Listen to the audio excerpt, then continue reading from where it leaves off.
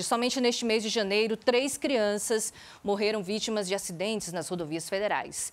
Os casos levantam um alerta sobre os cuidados necessários com as crianças no trânsito. Todo cuidado é pouco com os pequenos. Acompanhe na reportagem de Shelda Magalhães.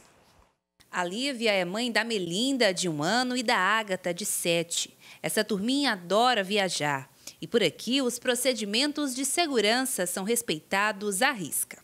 Primeiramente, que a gente já pensa de imediato é as cadeirinhas, né? Que a gente sabe que é, é uma necessidade e além da necessidade é também uma segurança. Então, eu como mãe e o pai das meninas, quando a gente faz viagem de família, a gente sempre está pensando é, nessa segurança e a gente também não pensa só na gente, a gente também tem que pensar nos outros, né? As meninas já estão até acostumadas a utilizar a cadeirinha e o cinto de segurança.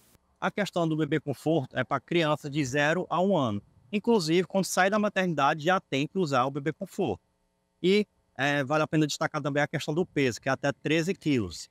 Já o uso da cadeirinha, é o peso é entre 9 a 18 quilos e crianças de 1 a 4 anos de idade.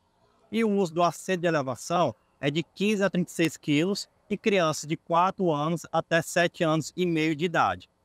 Caso a criança já tenha atingido 1,45m de altura, ela é, já pode ficar dispensada o uso do, do de elevação, mas tem que utilizar o cinto de segurança em menos de um mês, a morte de duas crianças nas rodovias piauienses gerou comoção em todo o estado. No dia 2 de janeiro, um acidente tirou a vida de uma menina de 8 anos, no município de Buriti dos Lopes. E agora, na última segunda-feira, uma colisão entre uma motocicleta e um caminhão levou a óbito uma criança da mesma idade.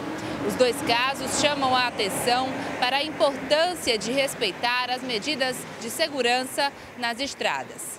A questão da cadeirinha e do assento de elevação, eles têm que ir dessa forma, com a direção voltada para o veículo, ou seja, mesmo em direção da marcha do veículo.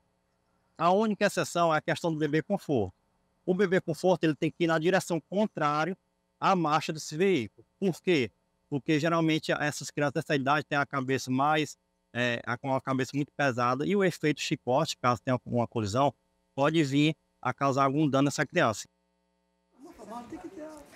Pois é, muito triste a gente ter que trazer esse tipo de informação, né? Muitos pais ainda deixam de lado a questão da segurança, mas todo cuidado é pouco. A gente viu aí exemplos muito tristes, inclusive hoje, um acidente muito grave de uma criança que levou a vida de uma criança em uma moto. Siga as orientações das autoridades de trânsito, em especial da Polícia Rodoviária Federal.